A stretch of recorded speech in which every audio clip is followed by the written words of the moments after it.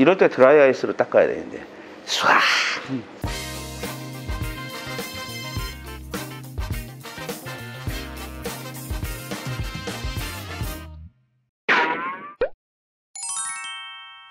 자, 안녕하세요. 내 차를 부탁해 장용석입니다. 지난번에 제가 계속 복원을 하던 X6 예, 바쁜 일정 때문에 제가 아직 다른 작업들을 못 했었는데 지금 마지막 작업이 좀 남아 있어요. 다른 건 다 끝났는데 제가 거실내는 게 뭐냐면 이제 연식이 있다 보니까 하부에 때가 너무 많고 외관에 이제 지난번에 도색을 끝내놨는데 이제 색의 이색 현상도 약간 있고 해서 광택을 좀 내고 싶어요. 광택도 내고 실내도 좀 닦아주고 그리고 하부도 좀 닦고 지금 하부를 닦기 위해서 제가 여기에 와 있어요. 하부 세척하면 예전에는 보면 이제 밑에서 물을 끼얹고 세척을 하잖아요.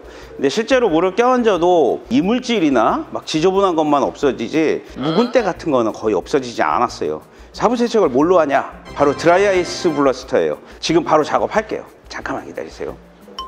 짜잔. 드라이아이스를 쏘고 눈에 튀기 때문에 보안경하고 일단 복장을 다 갖춰야 돼요. 근데 일단 제가 말이 잘 안 들려요. 귀를 막아놔가지고 말이 잘 안 들리고 이 작업할 때 이 소리가 어마어마하게 크거든요. 어마어마하게 커서 아마 우리 편집자분들이 볼륨을 줄여드릴 거예요. 하여튼 엄청나게 크다. 그것만 알고 계시면 되고 귀를 이렇게 막고 시작할게요. 일단은 기본적으로 이런 플라스틱류 같은 경우도 재색이 좀 나오거든요.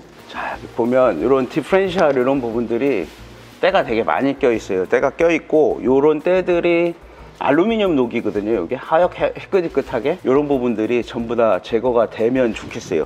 한번 일단 시작해 볼게요. 이거 닦으려고 저 장비를 샀는데 얼마 투자하셨죠?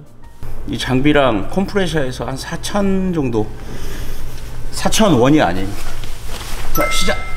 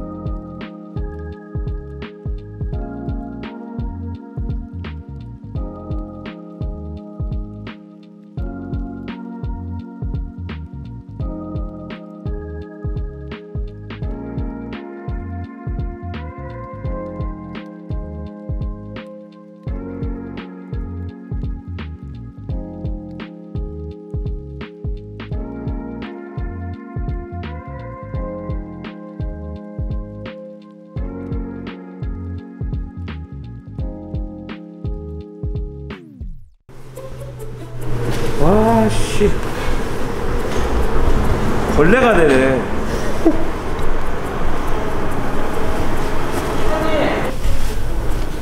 차는 깨끗해지고 내 얼굴은 더러워지고. 어우 씨. 새카매 새카매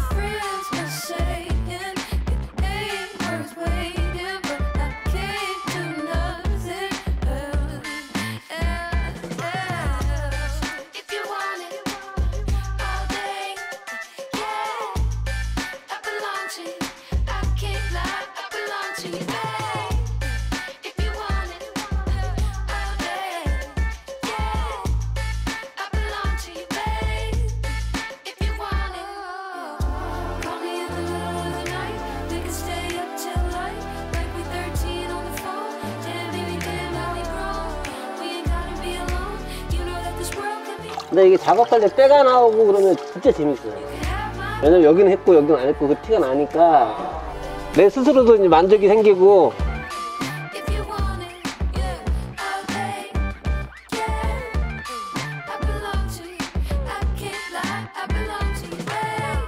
만져봐요.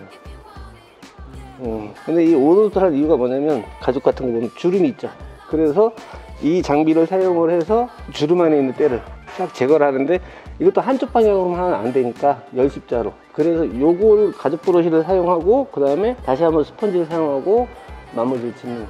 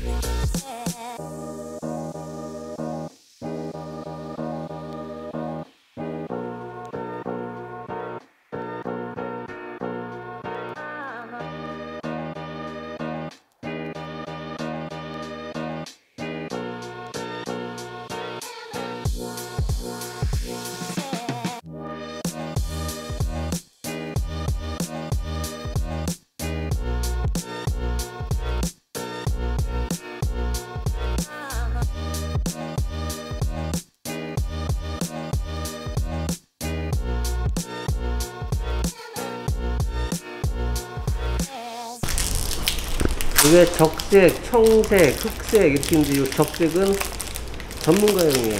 그다음에 물을 뿌려가면서 문질러주면 이 적색은 작업을 하면 도장, 도장의 이물질을 빨리 제거하는데 대신 도장에 스크래치가 날 수 있어요. 광택을 하기 위한 사람들. 교수님이 한번 만져보세요. 제가요? 손가락을 끼고 여기를 한번 문질러 보시고 그 다음에 여기 작업 안 한대요. 여기만 좀 문질러 보시고 어때요? 와, 오. 이건 엄청 매끄러운데 그렇죠. 아무것도 없는데 네. 이게 무슨 오돌도토라고 네. 뭐가 엄청 많네요. 눈으로 보기엔 되게 뭐뭐 옮겨도 못 느껴요. 아 그렇구나. 네. 그래서 그 비닐로 테스트를 하는 거예요. 아, 그래서 광택할 때는 무조건 클레이버 작업을 해야 돼요. 이게 연마제로 잘 안 나가요. 음. 밖에 있는 거니까. 그냥 이물질을 꺼내내는 거예요, 이게. 느껴보니 다르죠? 음.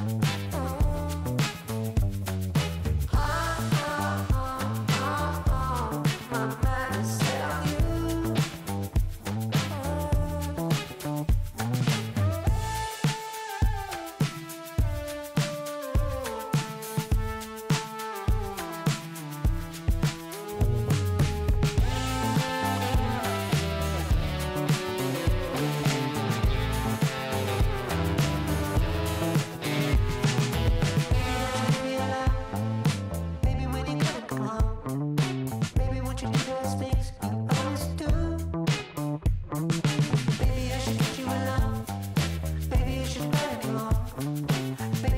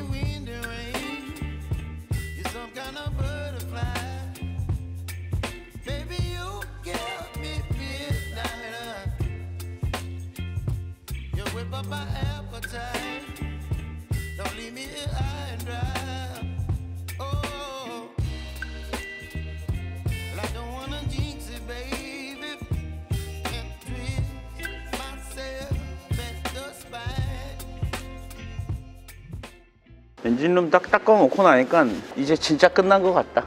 원래는 타려고 만든 거였는데 X5가 뜻하지 않게 생겨가지고 일단은 지인들이 연락이 와서 이 차는 정리를 그렇게 하기로 마음 먹었어요.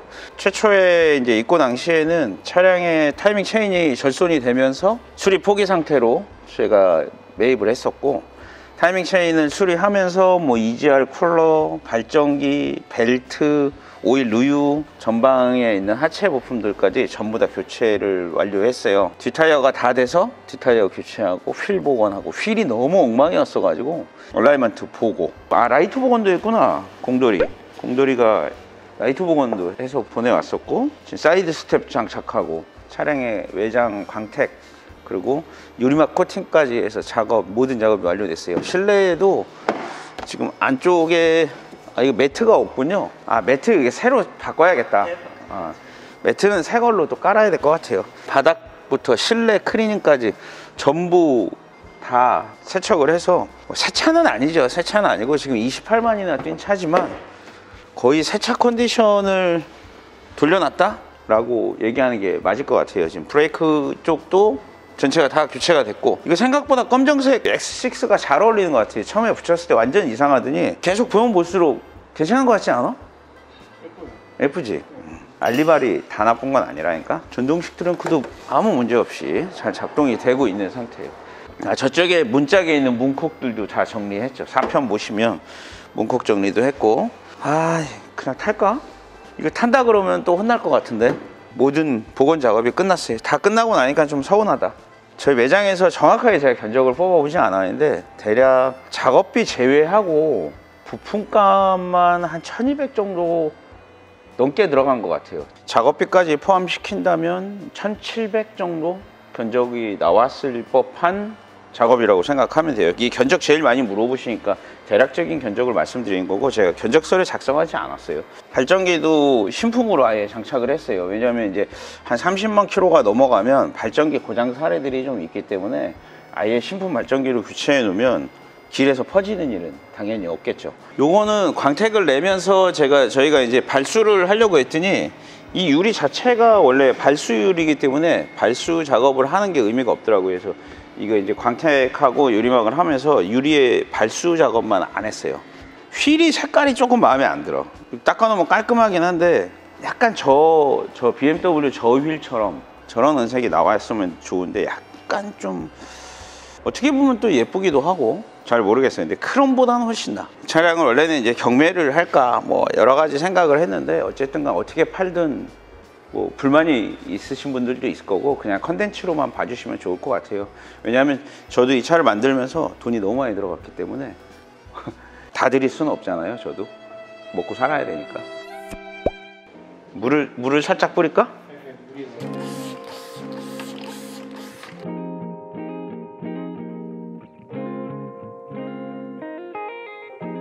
그러니까 이 와이퍼가 잘 안 닦여요. 저 와이퍼는 바꾸고 보내야 될 것 같아서 일단 마지막으로 와이퍼 blade 바꿀게요. 레인엑스. 레인엑스 맞지? 레인엑스. 실리콘 blade. 보통 이제 실리콘 blade 같은 경우는 원래 일반 와이퍼 같은 경우는 이 blade가 고무날이거든요. 고무날보다 수명이 한 3배 정도가 더 길다고 생각하시면 돼요. 범용으로 끼울 수 있는 아답터들이 여러 종류가 들어가 있어요. 간편하게 끼울 수 있는 게 장점이에요. 항상 보루 있어야 돼요, 보루. 왜 그러냐면 와이퍼를 뺀 다음에 얘를 놓치는 경우가 있어서 유리를 깨먹는 경우가 있어요. 오. 뭐 이렇게 쉽다고? 오. 간단하네. 갈기 귀찮아서 항상 정품만 써야돼.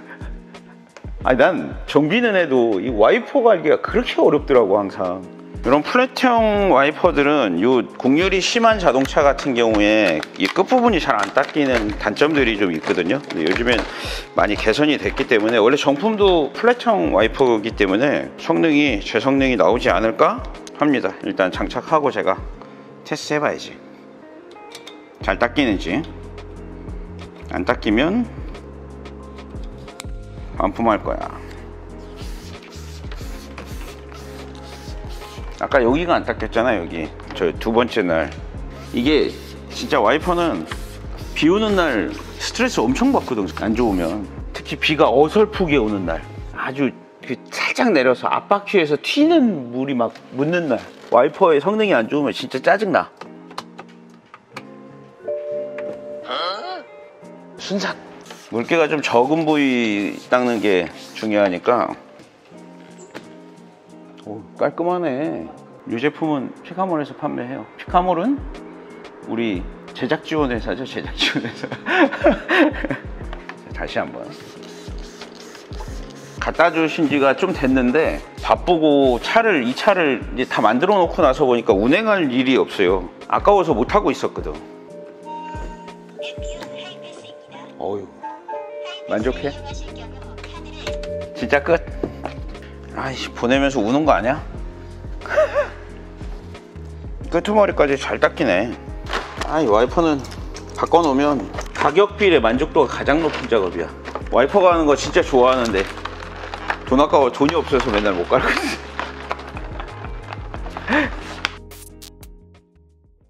이제 요 컨텐츠는 여기서 영상을 마무리하는 걸로 하겠습니다.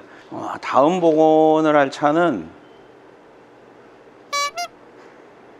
X5가 한 대 있고 40D가 그리고 한 대 있어요. 아마 둘 중에 한 대가 다음 영상으로 아마 올라갈 거예요. 근데 하고 나면 돈이 너무 많이 들어서 회사가 적자를 봐.